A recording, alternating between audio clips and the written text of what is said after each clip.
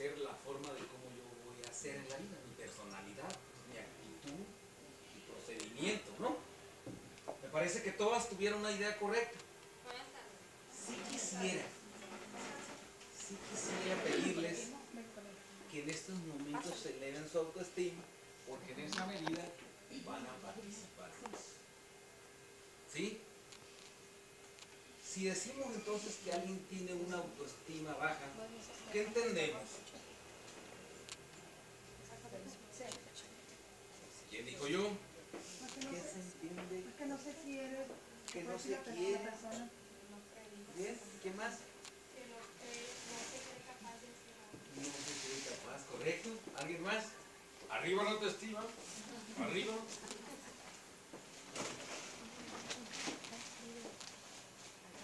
Se siente menos, ¿no? Se siente menos. Inseguridad sobre sí mismo. Inseguridad, correcto. Bien. ¿Y autoestima alta? Normalmente, que se cree mucho. o sea, cree que él las puede todas. Puede hacer lo que él quiere, ¿Cree que sí puede hacer? lo que ¿Se cree capaz se cree para capaz hacer? de hacer eh, cualquier cosa, pues. O se cree más que otras personas.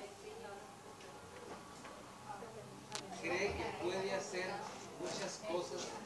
¿Se cree capaz? ¿Se cree más que los demás? Dos términos. ¿Quién más? Que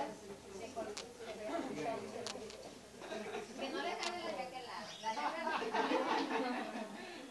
¿Se creen menos? No, no es cierto. A ver. Autoestima alta. Mande.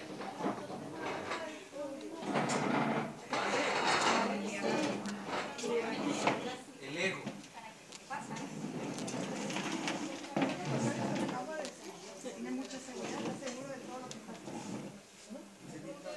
El ego es la forma de procedimiento de una persona. ¿no?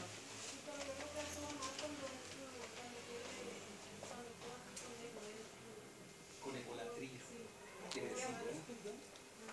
Yo pienso que la autoestima alta es alguien que cuando alguien tiene una autoestima alta no deja de la vida a los demás. Yo pienso que cuando tienes autoestima alta no tienes por qué mirar a los demás tampoco ni usar el- ni ser egoísta.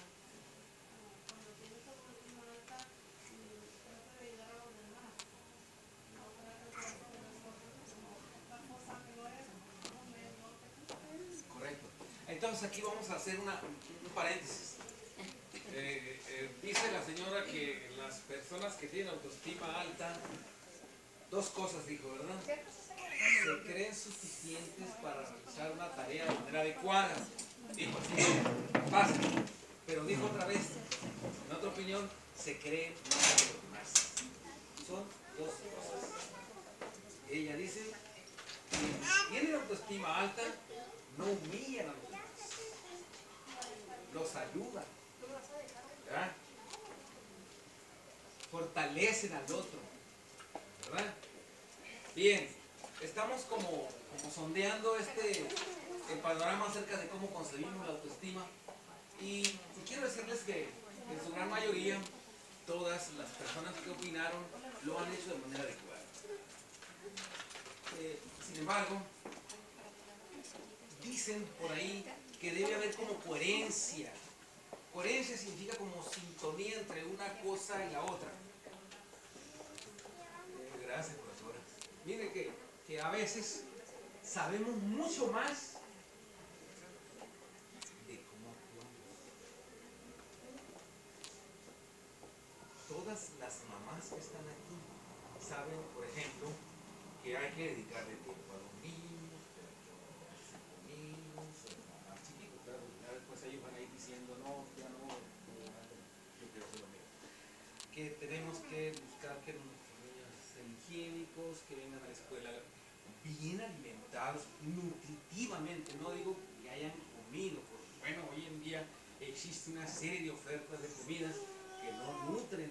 Tenemos deshonrosamente en primer lugar a nivel nacional de obesidad y mundial en niños.